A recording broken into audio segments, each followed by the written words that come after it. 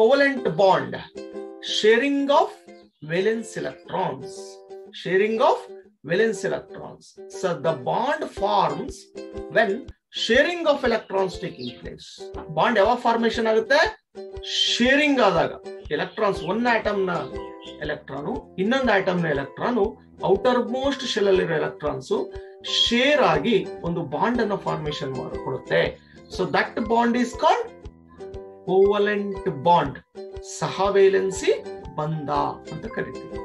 Right okay so ಹಾಗಾದ್ರೆ ಈ covalent bond ಅಲ್ಲಿ ಕೆಲವು ಬೇರೆ ಆಟಮ್ಸ್ ಕೂಡ ಶೇರಿಂಗ್ ಆಫ್ ಎಲೆಕ್ಟ್ರಾನ್ಸ್ ಮಾಡ್ಕೊಂಡಿದೆ.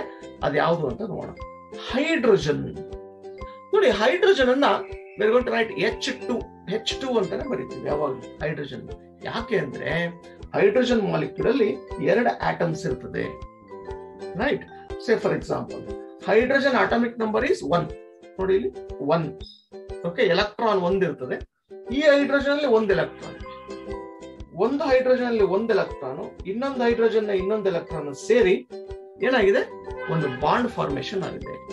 Right so that forms a single bond that forms a single bond these two electrons are called shared electrons okay ಏನಂತ ಕರಿತೀವಿ ಮಕ್ಕಳೇ ಶೇರ್ಡ್ ಎಲೆಕ್ಟ್ರಾನ್ಸ್ ಓಕೆ ಸೊ ಹಾಗಾದ್ರೆ ಸಿ ಗಮನಿಸಿ, ಇಲ್ಲಿ ನೋಡಿ.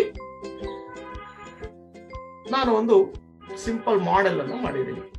ಏನ್ ಹೇಳುತ್ತೆ ಈ ಮಾಡೆಲ್ ಅಜೂಮ್ ದಿಸ್ ಈ ಗ್ರೀನ್ ಕಲರ್ ಇದೆಯಲ್ಲ, ಒಂದು ಬಾಲ್ ಸೊ ಇದನ್ನ ಹೈಡ್ರೋಜನ್ ಅಂತ ಅನ್ಕೊಳ್ಳಿ. ಇದನ್ನು ಕೂಡ ಒಂದು ಹೈಡ್ರೋಜನ್ ಅಂತ ಅನ್ಕೊಳ್ಳಿ. ರೈಟ್ ಈ ಎರಡು ಹೈಡ್ರೋಜನ್ಗಳ ನಡುವೆ ಒಂದು ಬಾಂಡ್ ಫಾರ್ಮೇಶನ್ ಆಗಿದೆ.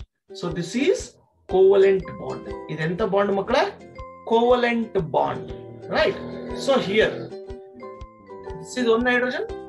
This is one more atom of hydrogen ಇಲ್ಲೊಂದು ಎಲೆಕ್ಟ್ರಾನ್ ಇದೆ, ಇಲ್ಲೊಂದು ಎಲೆಕ್ಟ್ರಾನ್ ಇದೆ. ಎರಡು ಎಲೆಕ್ಟ್ರಾನ್ಸ್ ಶೇರ್ ಮಾಡಿದೆ. Single bond is formed right this is covalent bond right so this is